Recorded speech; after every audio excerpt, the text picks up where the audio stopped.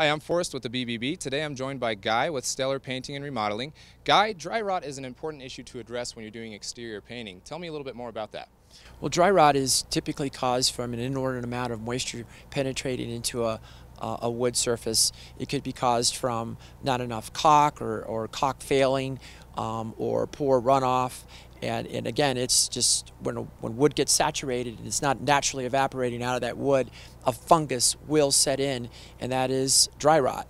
Uh, you can typically push right through it or pull it apart with your fingers. It has to be eliminated, it has to be repaired, it has to be pulled out. Uh, paint will not last or adhere to dry rot, so it's a very, very important thing to get rid of on a house when you're as a pre-prep to painting.